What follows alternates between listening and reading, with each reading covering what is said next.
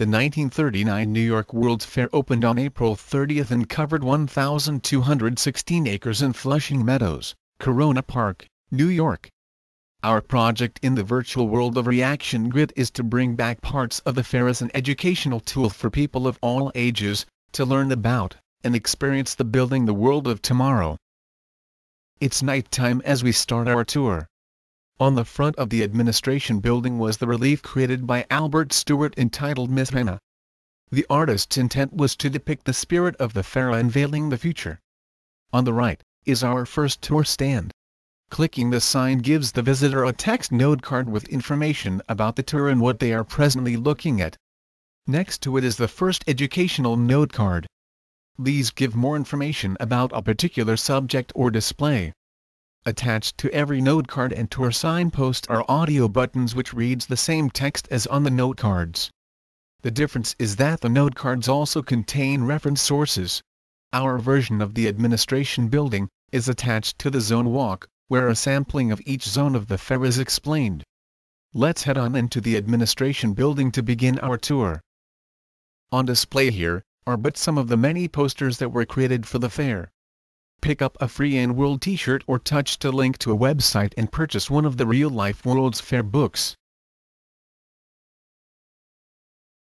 Before we enter the zone walk, read or listen about the zoning of the fair. When you are ready, let's head into the zone walk for a look at the fair and its zones. Here is the story of the theme center and a model of the Trilon and Perisphere. Stop for a minute, and listen to President Roosevelt's fair opening speech. I hereby dedicate the World's Fair, the New York World's Fair of 1939, and I declare it open to all mankind. The government zone was divided into three sections. The first section, which was spread over the entire zone, contained the buildings that were erected as stand-alone pavilions for the individual country. A few were constructed in other zones of the fair. Cuba was located in the amusement zone, Sweden and Turkey were in the food zone. The second section was centrally located around the Lagoon of Nations. There were seven groups of attached buildings collectively known as the Hall of Nations. Each of the buildings was divided into separate display halls that housed the displays and information for a particular country. The Court of States and the third section of the government zone. Here too, not all the exhibiting states were present. Florida was located in the amusement zone on the southwest side of Fountain Lake and New York owned the amphitheater on the lake's west side. The community interest focal display, the home furnishings building, was housed in a modern structure of classical design. The home furnishing building, whose high colonnaded facade fronts on Bowling Green adjacent to the IRT-BMT subway gate. Significant murals and sculptures adorn the exterior.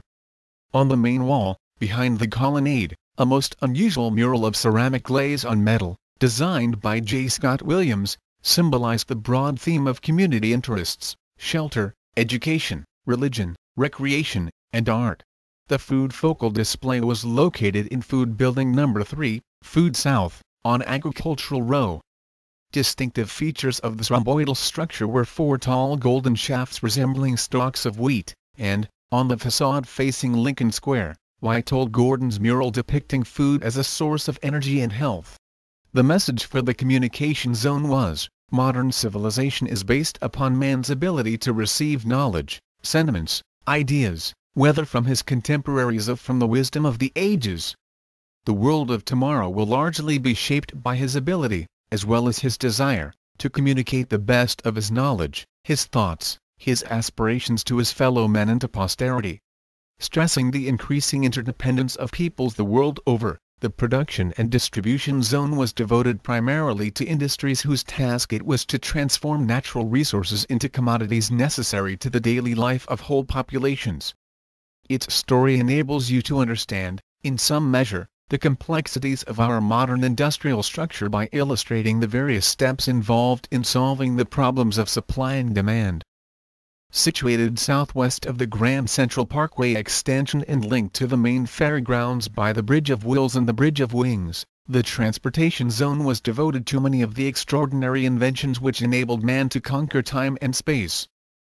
The amusement zone surrounded Fountain Lake and contained a seeming mishmash of privately sponsored displays. Since the successful midway of Chicago's Columbian Exposition in 1893, World fairs normally included a separate area of exhibits not necessarily meant for educational purposes but pure enjoyment. In World on Reaction Grid you can visit the Belgian Pavilion, building of the City of New York, Westinghouse Electric, or the Trilon and Perisphere. More videos about the project will be coming soon.